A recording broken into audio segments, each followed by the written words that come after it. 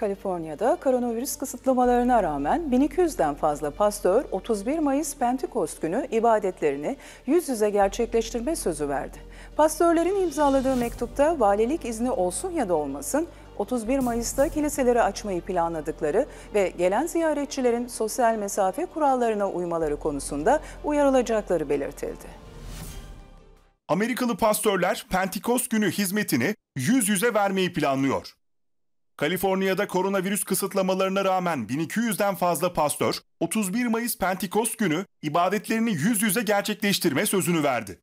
Kaliforniya'daki birçok bölgede iş merkezleri, restoranlar ve alışveriş merkezleri gibi işletmelerin açılışına izin verilmesine rağmen ibadet yerleri kapalı kalmaya devam ediyor.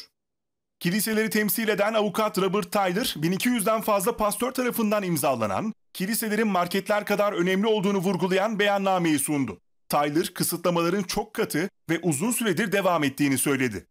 Pastörlerin imzaladığı mektupta valilik izni olsun ya da olmasın, 31 Mayıs'ta kiliseleri açmayı planladıkları ve gelen ziyaretçilerin sosyal mesafe kurallarına uymaları konusunda uyarılacakları belirtildi.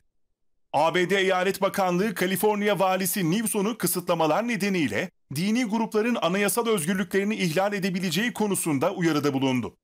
Pastörler söyledikleri gibi Pentekost gününü cemaatle birlikte geçirebilirlerse ilk kez Nilsson'un kararını uygulamamış olacaklar.